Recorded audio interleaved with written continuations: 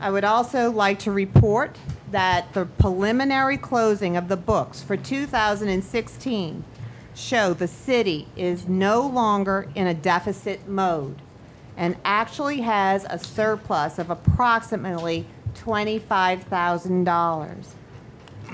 I think we all can breathe a nice sigh of relief.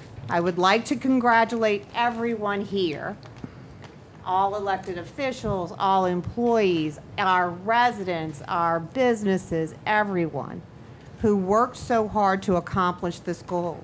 We must continue practicing our sound budgetary uh, and spending practices to continue this trend. I just want to say that it is, even though it's difficult, I personally take it as a privilege to represent every citizen in this community. Whether you're for me, against me, have no opinion. Um, This council and I, the police chief, everyone here, we work for you.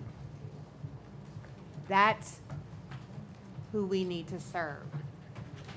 And I'm going to agree with the sentiments of Ms., that have been said tonight. We need to take down the rhetoric.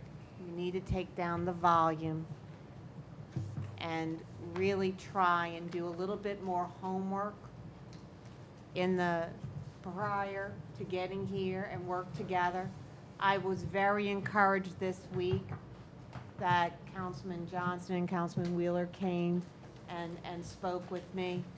It, it's a beginning, um, again. And Councilman Benton, I thank you for always challenging me and, um, you wouldn't believe how many times she'll tell me, are you sure? I think you're wrong. You better prove this to me.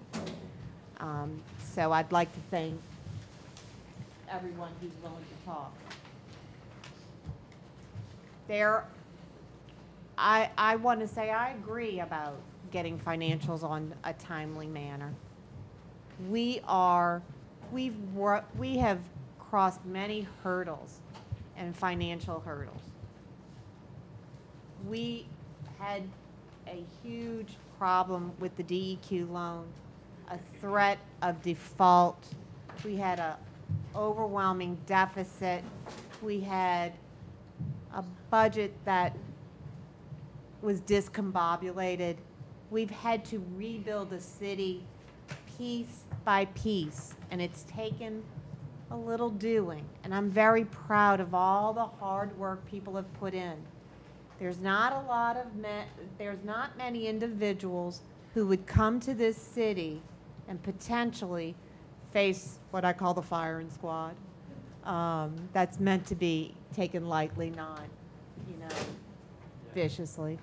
And they put themselves out there, and I thank them, all of our professionals, all of our employees.